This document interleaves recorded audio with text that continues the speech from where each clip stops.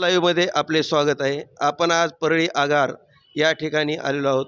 या ठिकाणी प्रथमच कपिल चिंडाले यांची या वाहतूक निरीक्षक म्हणून नियुक्ती झालेली आहे. त्या प्रसंगी येथील परळी येथील राष्ट्रवादी काँग्रेसचे रमेश मस्के यांच्याशी आपण संवाद साधणार आहोत.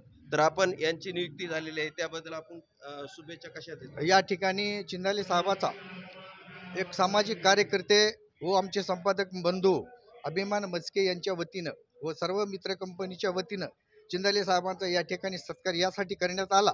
ते आपल्या परळीचे पुत्र आहेत आणि त्यांनी पुढील कार्यासाठी त्यांना या ठिकाणी शुभेच्छा देण्यासाठी हा सत्कार या ठिकाणी करण्यात आलेला आहे.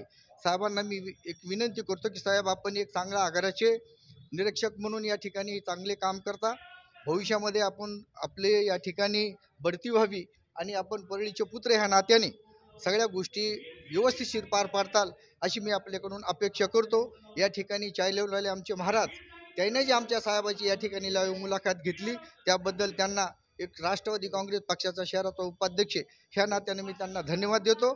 या ठिकाणी थांबतो. नमस्कार. तर या चिंडाले साहेबांना सर्वांच्या वतीनं सर्व कर्मचाऱ्याच्या वतीनं त्यांचं कौतुक होत आहे. विकासनामा लाईव्ह बालासाहेब फपाळ बीड.